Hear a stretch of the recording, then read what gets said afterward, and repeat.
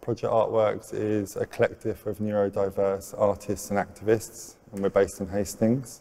We want to see people with complex support needs brought into the heart of cultural and civic life, and so that they can see themselves reflected in the programming and audiences of cultural organisations. The neurodivergent artists within the programme are a very uh, diverse group, some who identify as artists, others who don't. Alongside the creative programme, uh, we run the Support Collective. The Support Collective brings together people who have lived experience of caring for uh, those who have complex support needs. Uh, its aims are to help people navigate the complexity of support systems within social care and to improve those outcomes in social care. Sharif Persaud has been working with Project Art Works for a long time is now 27 years old. He is autistic, and I first started working with Sharif uh, when he was uh, very young at his primary school, when we ran some school projects there.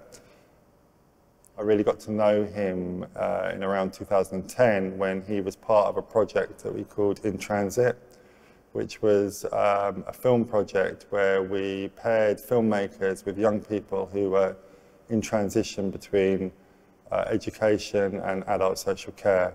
Autism is um, what's in your body and is some is a condition it's a disability and when you have autism it can make you a little bit anxious sometimes um, I've got an autism haven't I I've got autism too after we made the In Transit film things got quite difficult for Sharif and a lot of uh, support systems and placements for him broke down uh, and he ended up spending some time in hospital.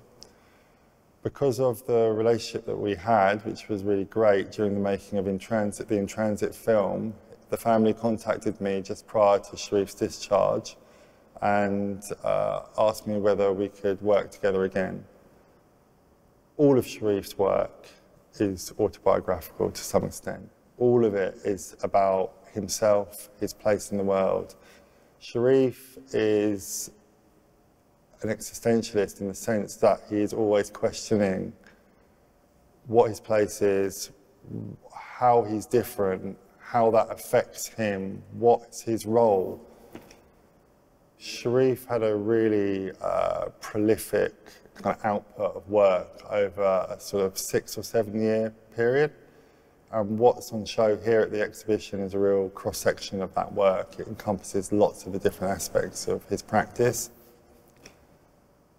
So there's drawings, uh, and that's really Sharif's instinctive art making process, one that actually is, is functional for him because it's a way of reflecting and understanding the past and also thinking about the future and always kind of balancing negative things with positive things. So it, it was a process that he sort of underwent.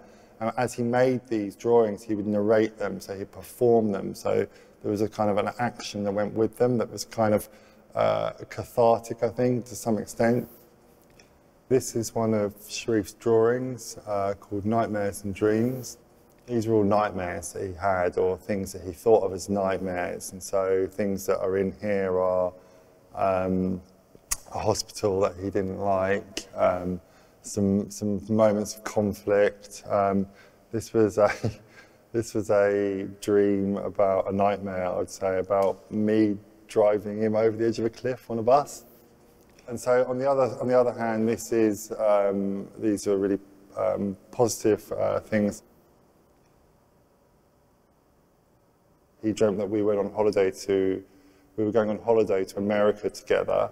And this was the woman at the uh, baggage area, and he, he, she cleared her throat. and that was uh, exciting for him. This is the Holby City Cast Ensemble. Sharif is really interested in um, the body, medical issues, um, hospitals, and so it's a Holby City is a big part of his life. And unfortunately, it's just ended. I think after about 30 years. At the time, Sharif was very anxious, and this was a way of um, sort of slowing down and doing something really methodical meaningful for him, but also sort of a distraction from his anxiety. So the, the, the, the, painting, which is amazing as a sort of work of art, also had this sort of function, which was about his well-being, and that was the process. My role has always just been to sort of stand back and admire, but also just to be there to sort of support Sharif and to um, collaborate in, in small ways, you know. So the film, The Mask, was obviously um, a collaborative process but one that he always led on. And actually, because Sharif has a director and writer credit on the film, we have to measure that in a different way for someone like Sharif. How does Sharif write that film? Well, how he wrote that film was that he performed the entire script in a single monologue in a recording studio.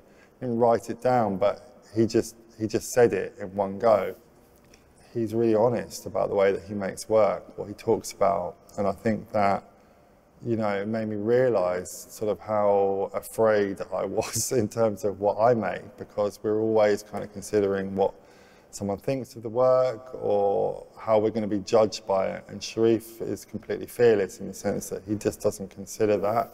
He, Sharif operates from a what I need perspective and his work is a way of understanding his life.